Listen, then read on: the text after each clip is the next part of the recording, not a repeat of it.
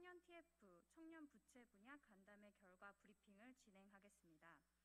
안녕하세요. 더불어민주당 청년 대변인 조은주입니다. 근본 3회차를 맞이하는 미소 대화에서는 사회적 거리두기 2단계 격상에 따라 비대면 방식으로 지난 26일 줌을 통해 간담회를 개최했습니다. 온라인으로 진행된 이번 간담회에서는 청년 독립영화관 빛이라는 가상의 스튜디오를 만들어 청년들이 직접 들려주는 빛 이야기 다섯 편을 상영하였습니다. 또한 중앙정부, 지방자치단체의 생활금융 정책을 점검하고 민간 차원의 사회적 금융 안전망의 시도와 한계를 살펴보는 시간을 가졌습니다. 코로나19 장기화 속에서 얼어붙은 취업시장과 서비스 직군의 타격으로 인한 특정 연령, 성별의 대규모 실직 등의 문제와 맞물려 과채무 상태의 청년들이 생활고로 인해 극단적인 선택을 하거나 금융 범죄에 연루되는 등 급격하게 사회 문제로 번지고 있는 양상을 현장의 목소리를 통해 확인하는 시간을 가졌습니다. 이어 청년들의 생활, 금융 관련 사업을 담당해온 청년 단체들과 함께 부채 상황을 진단하고 청년 당사자가 겪고 있는 부채 문제와 가채무, 생활고 등으로 인한 우울증, 자살 문제로 이어지는 문제의 전이 경로를 파악하는 시간이었습니다.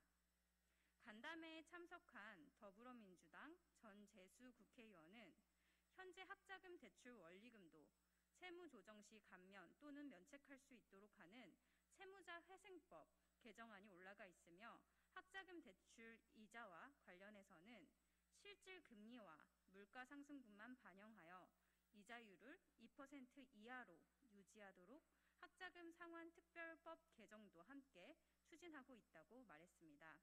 이번 정기 국회를 통해 이 법안들을 조속히 통과시킬 수 있도록 최선의 노력을 다하겠다고 밝혔습니다.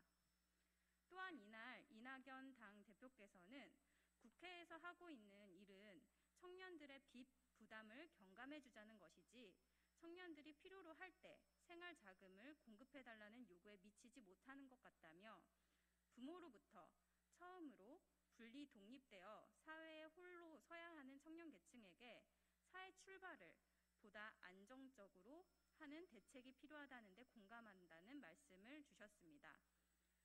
이를 위해 국회와 정부가 청년들이 겪는 부채 문제 해결을 위해 당장 챙길 수 있는 것은 조속히 진행을 하고 시간이 걸리더라도 청년의 소득을 보장하거나 사회 출발 자산을 형성할 수 있는 정책을 보다 적극적으로 검토하여 청년들이 안전한 사회 출발을 돕도록 하겠다는 방안도 언급하셨습니다. 학자금 대출뿐만 아니라 주거 생계 자금 마련으로 인해 청년들의 대출 현황이 매우 심각해졌습니다.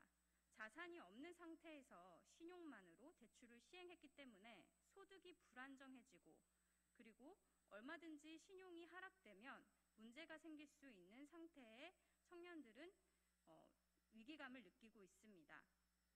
청년들을 위한 특단의 신용관리 회복과 부채 경감을 위한 대책이 필요합니다.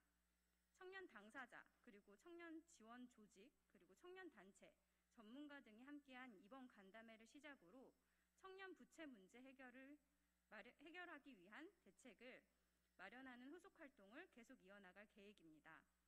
청년 TF 미소 대화는 매주 목요일에 진행되며 다음 주는 18살 어른, 보호 종료 아동에 대해 저희가 간담회를 진행하고자 합니다.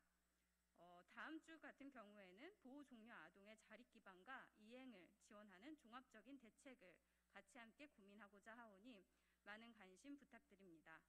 다음 주 이 시간에 브리핑을 통해 다시 찾아뵙겠습니다. 감사합니다.